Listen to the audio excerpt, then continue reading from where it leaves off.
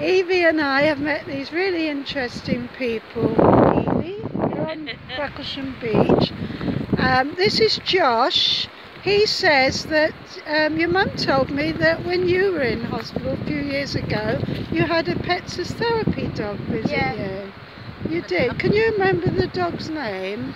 Um, I think it might have been. Wasn't Leo, was it? I don't know. Was it a yellow one? Yeah. Yeah. Oh, and what did he help you? Was it comforting? Um, yeah, he just looked after me whilst I was there. Are you all right now? Oh, um, good. yeah. Oh, and that was which hospital? Um, Southampton General Hospital whilst I was having heart surgery. Oh, I'm glad you're better now. And this is Evie, and we're going to in, we're going to uh, interview your mum again on a separate YouTube.